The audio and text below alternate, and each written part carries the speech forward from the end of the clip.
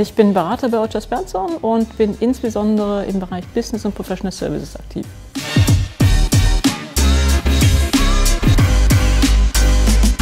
Nach einem ganz normalen regulären Studium namens BWL in Nürnberg habe ich mich entschieden, äh, das war schon immer ein Kindheitstraum von mir, eine Zeit in Kanada zu verbringen. Das hat auch tatsächlich hingehauen. Und insofern war ich für längere Zeit in Kanada und habe damals für Siemens in Toronto gearbeitet. Und danach kam ich zurück, war nochmal an der Uni als wissenschaftlicher Mitarbeiter aktiv, bevor mich mein Ruf zu Bernson erfolgte.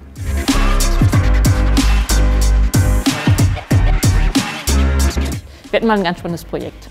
Da haben wir äh, einen Kandidaten gesucht, wirklich wie eine Nadel im Heuhaufen und wir haben diesen Menschen gefunden.